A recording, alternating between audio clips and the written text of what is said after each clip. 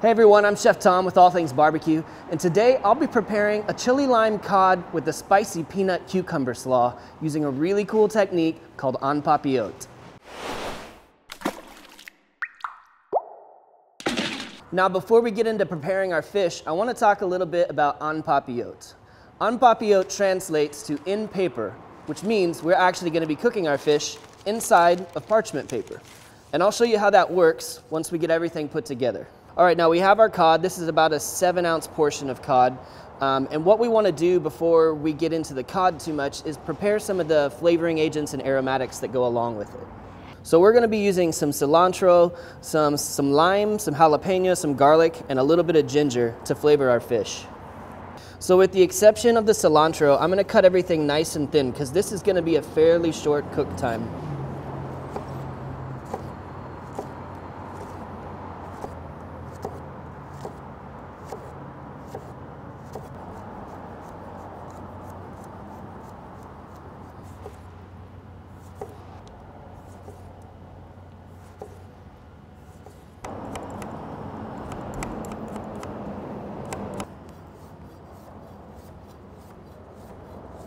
All right, so we're gonna take some of these ingredients, combine them in a bowl.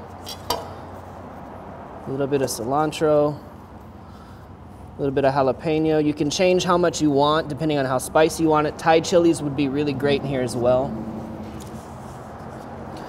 Put some ginger in there. Squeeze a lime juice.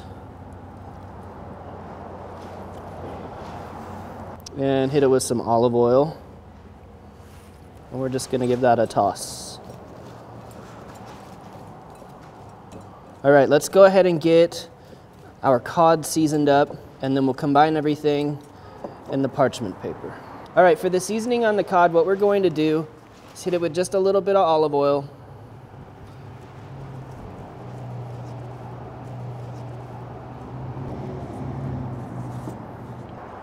And then we're gonna hit it with some Cattleman's Grill 8 second ride. This has got some really great chili flavor in it. It's not too salty, And we're not gonna go too heavy on that. Now let's get everything combined. All right, now to begin to create our parchment packet, we're gonna need to do a little bit of arts and crafts. And I don't know how long it's been since you made a Valentine, but that's kind of what we're gonna be doing here today. We're going to cut this so that it makes sort of a heart shape.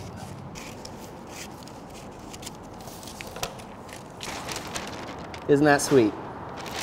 All right, I'm gonna lay down our aromatics and our flavoring agents right in the center of this half.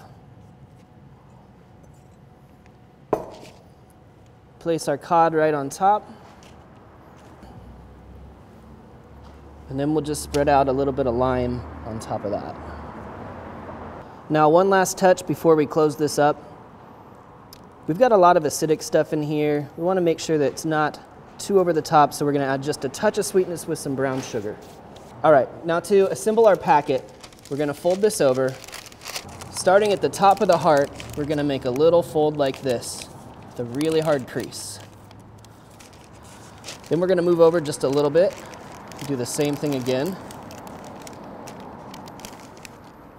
And continue working our way around.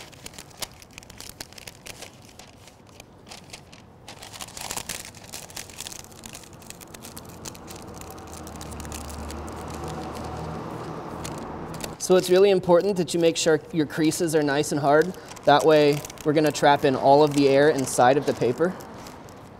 And then once we get down to this end, you see we've got a little bit hanging over. We're gonna make a couple of really good creases here at the end. And tuck that last little bit right underneath. So looking around, we just want to make sure that we're folded really well. There's no place for the air to escape.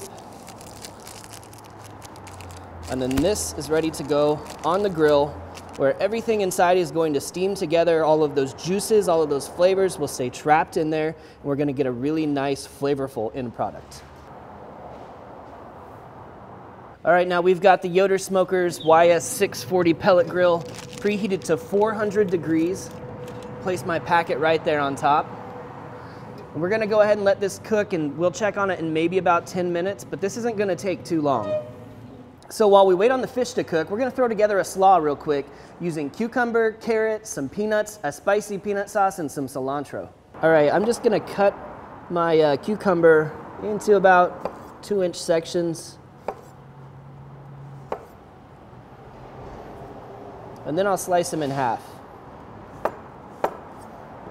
And I don't really want all the watery seeds in here, so I'm gonna go ahead and scoop those out.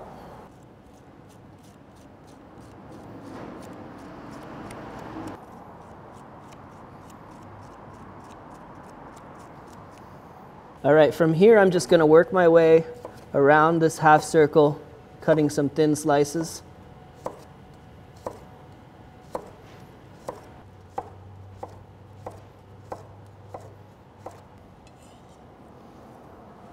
That looks like that's gonna be more than enough for our fish.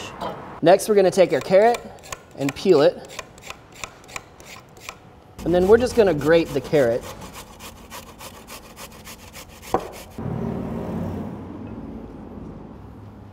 We're just gonna throw in a small handful of cilantro leaves. And I've got a couple tablespoons of peanuts. We're just gonna crush these, scoop them into the bowl. And that's gonna give us some really nice texture. And to bring it all together, some Kim's spicy peanut sauce. This is gonna add some sweetness and a little heat, and we'll give this a toss.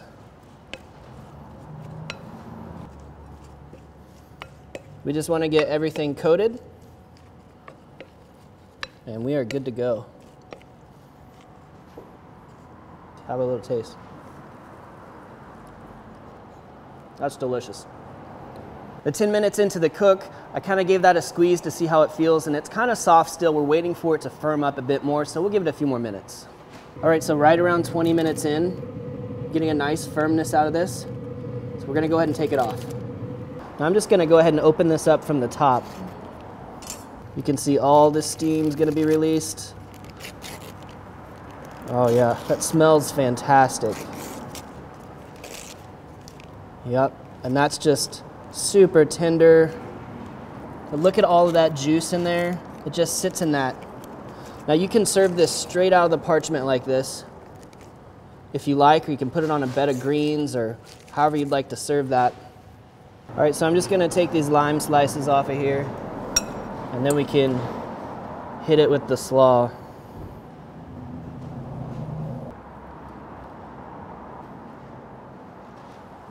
All right, I'm gonna dig in and see how we did.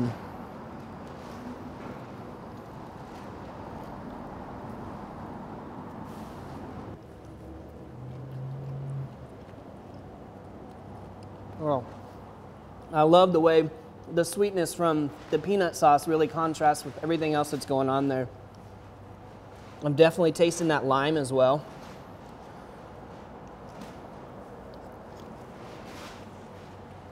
Mm. I'm getting a little bit of heat from the jalapeno. It's really a fantastic fusion of flavors for sure. That's a fantastic recipe. I hope you guys will check it out. I hope you let us know what you think. Thanks so much for watching. If you enjoyed the video, click the subscribe button. And if you have any questions or comments, if there's anything you'd like to see, as always, you can let me know in the comment section down below. For more recipes, tips, and techniques, head over to thesauce.atbbq.com. All things barbecue, where barbecue legends are made.